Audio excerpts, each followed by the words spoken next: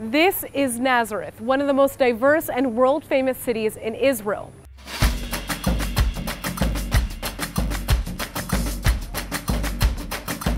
It's known as the childhood home of Jesus, the Arab capital of Israel, and it's home to the largest Arab Christian community in all of the country. L'chaim.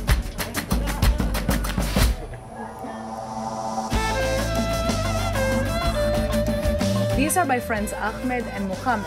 نحن أخيم ولدنا And today they're going to show us how to experience Nazareth like real locals. Let's do this.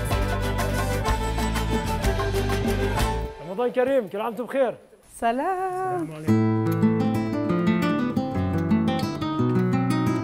This is the home of Saif Eddin Zoabi, one of the first ever Arab Knesset members in Israel. סייף א-דין זועבי הוא היה סבא שלכם ואבא שלך, נכון?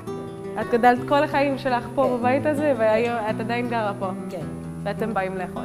בימי חייו היה הבית תמיד מלא אורחים, הבית פתוח. כל יום את קמה כל בוקר שותה קפה, כן, וזה מה שאת רואה. כן. חיים טובים. Today, tourists can only visit his home in arranged groups where they're treated to a hearty local meal. but if you're lucky, you can try knocking on the door to see if the former mayor's daughter will let you in for a look and the chance to travel back in time.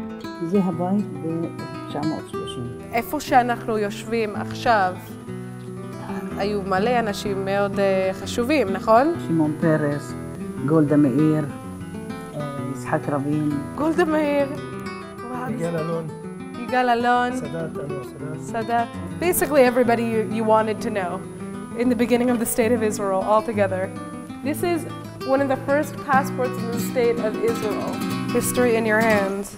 Now, it's time for some coffee.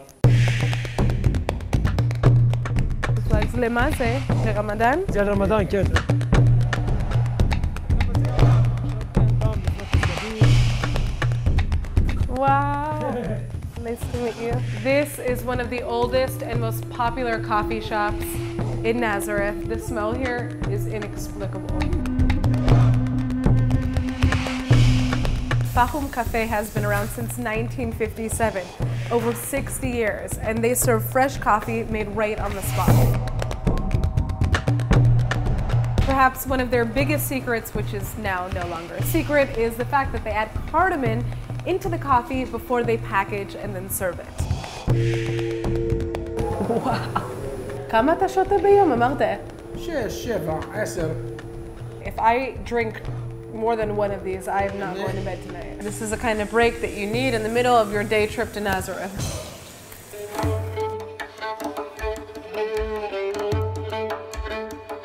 This is Academia di Moda Nazareth. It is a very good thing that I'm not behind one of these tables. I'm not cut out for this type of work.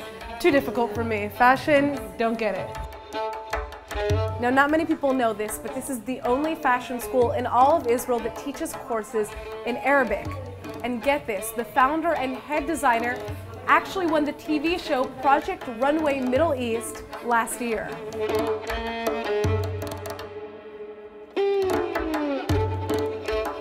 Just so you guys know, this isn't actually a tourist destination, but you can come here once a year to see a unique fashion show that's put on by the students and displays all of their incredible work. And there's a boutique next door where you can buy whatever you like. We're about to enter where all of the magic happens. טוב נטשה זה המקום הקלפי הכי טעים בארץ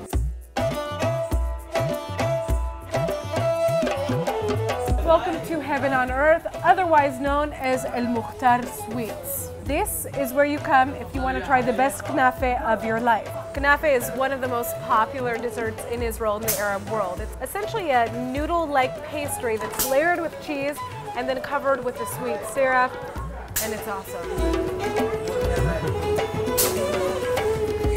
וואו. תודה רבה, באמת זה היה ממש... תודה. אה, בוא תעזור לחבר'ה.